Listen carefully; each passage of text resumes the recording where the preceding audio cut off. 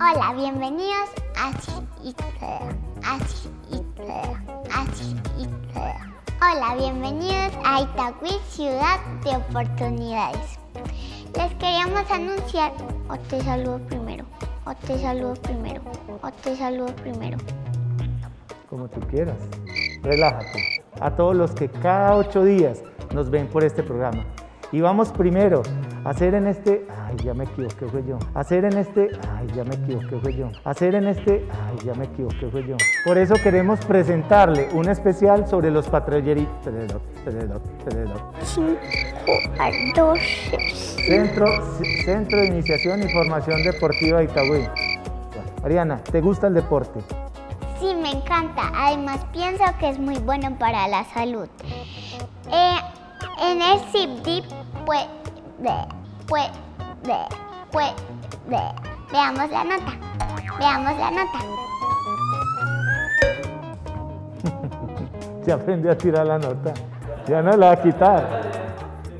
Sí, también les puedo contar que en mi grado tercero para entretenimiento me ayudó Valentina Nieves que hicimos un... un Ay, ¿yo por qué me? Una estudiante, una estudiante, una egresada de esa No, no me institución. metes, no me meta eso que me enredo más, me enredo más. El robot sentía la moneda y se la comía. Veamos la nota. Ay, ay, ay. Podemos cortar eso. Sí, está ahí. Y ya tú dices, veamos la nota. Veamos la nota. Hemos llegado al programa de Itagüí, Ciudad de Oportunidades, con este especial para los niños. Hemos llegado al programa de Itagüí, Ciudad de Oportunidades, con este Ay, especial sí, para los niños. Hemos llegado al final. Era a ver si estaban pendientes. Sí, claro. Hemos llegado al final del programa Itagüí, Ciudad de Oportunidades, con un especial para los niños. Mariana, ¿qué recomendaciones tienes final para todos los niños de Itagüí? Les recomiendo que se queden en casa, lavarse las manos, mantener el distanciamiento social y usar tapabocas para prevenir el contagio del COVID. Gracias. Mariana, ¿cuál es la recomendación para los niños?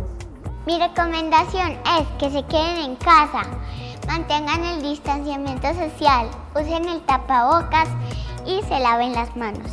Y para prevenir el contagio del COVID, no pedir dulces y tratar de no salir en casa. Chao. Tratar de no salir en casa. No como no sale.